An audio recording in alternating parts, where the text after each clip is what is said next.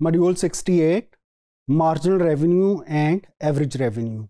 जब हम फार्मर के प्रॉफिट्स की बात करते हैं तो for the calculation of profit there are basically two factors one is revenue and other one is cost हाँ जी कॉस्ट के पैरल क्या चीज़ आएगी? वहाँ पे रेवेन्यू आएँगे फार्मर के. एंड टू कंप्यूट रेवेन्यू हमें इंफॉर्मेशन रिक्वायर्ड होगी about price of agricultural output and quantity of output that is being produced by the farmer और जब हम मार्जिन रेवेन्यू की बात करते हैं this margin revenue is obtained by dividing change in total revenue with change in output कि margin revenue is basically the slope of total revenue कर जब हम एवरेज रेवेन्यू की बात करेंगे, इसको हम कहते हैं revenue per unit of output हम इसको obtain कर सकते हैं by dividing total revenue with level of output that is being produced by the farmer. अब फार्मर जो है it usually works under the perfectly competitive market और परफेक्टली कम्पिटिटिव मार्केट में सिचुएशन क्या होगी? कि आपके marginal revenue average revenue and price of the product ये सब क्या होंगे? All these three things are equal और marginal revenue and average revenue curve in fact क्या है? These are perfectly elastic curve कि जी, ये marginal revenue and average revenue of the, of farmer does not change with change in level of output. और ये सब क्या होंगे? These all things are parallel to x axis और जब हम इस चीज़ को कंप्यूट करने के लिए कि what are the total revenue marginal revenue and average revenue of the farmer हम ये एक हाइपोथेटिकल प्रोडक्शन स्केजुअल यूज़ कर रहे हैं। हाँ जी, मैंने बात की थी कि हम टोटल रेवेन्यू कंप्यूट कर सकते हैं by multiplying price with output. हाँ जी, यहाँ पे ये आउटपुट क्या है?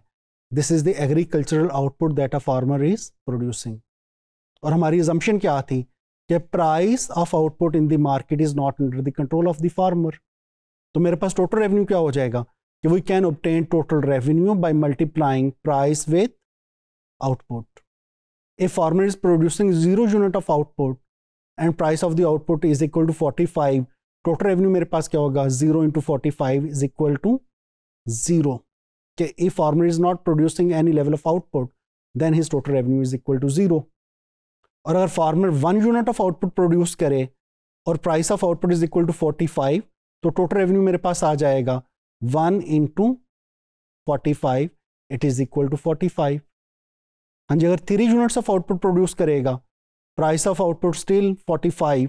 तो मेरे पास ये आ जाएगा three into forty five is equal to one hundred and thirty five और ये सारी इंफॉर्मेशन ये इस कॉलम में जितनी भी मैंने वैल्यूज़ रिपोर्ट की हैं all these values are obtain by multiplying output with price जब हम मार्जिनल रेवेन्यू की बात करते हैं, हम कहते हैं marginal revenue is change in T R due to change in output हाँ जी what is change in T R when level of output move from zero to one unit of output तो हम यहाँ पे ऑब्ज़र्व कर सकते हैं change in total revenue is equal to forty five कि marginal revenue is change in T R over change in output और यहाँ पे by moving from zero unit of output to one unit of output change in revenue is equal to forty five while change in output यहाँ पे कितना आया? There is increase in output by one unit, और ultimately क्या हो गया? It is equal to forty five फिर इसी पैटर्न पे अगर हम कहें कि level of output increases from one to three units of output मेरे पास यहाँ पे चेंज इन टोटल रेवेन्यू किस किस चीज़ के इक्वल है? कि जी यहाँ पे चेंज इन टोटल रेवेन्यू मेरे पास है इक्वल टू नाइन्टी और यहाँ पे change in output is equal to two तो ये मेरे पास आ जाएगा नाइन्टी ओवर टू और अल्टीमेटली क्या होगा? It is equal to forty five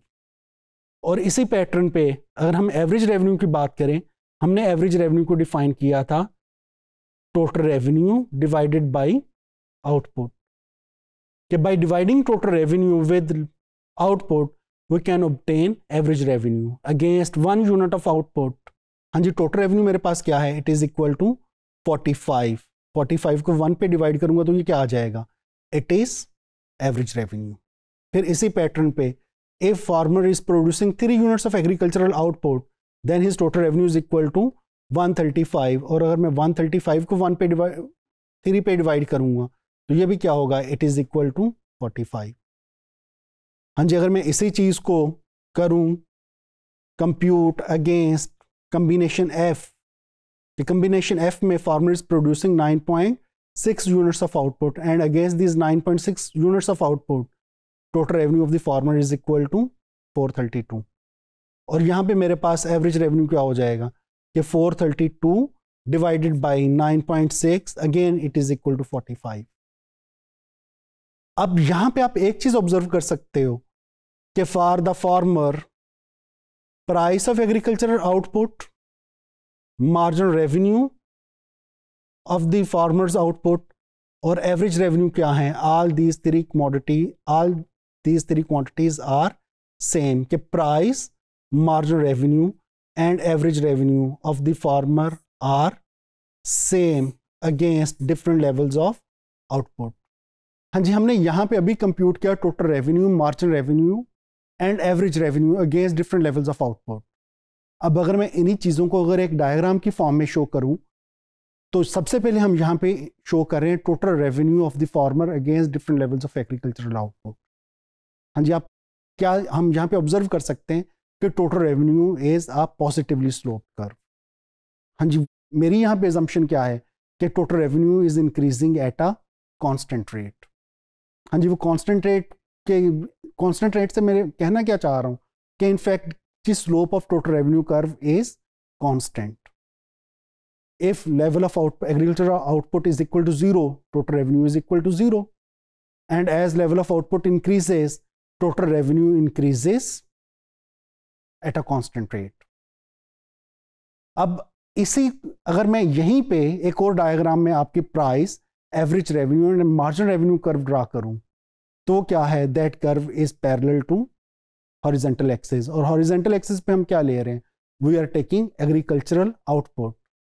और वर्टिकल एक्सिस पे हम प्राइसेस भी ले रहे हैं और रेवेन्यू भी ले रहे हैं फार्मर के. और most for most of for agricultural commodities situation क्या है? कि price average revenue and marginal revenue curve are same curve और फार्मर के लिए, क्योंकि फार्मर एक परफेक्टली कम्पिटिटिव मार्केट में ऑपरेट करता है तो ये कर्व हमेशा आप कह लें परफेक्टली इलास्टिक कर्व होगी फॉर अ पर्टिकुलर फार्मर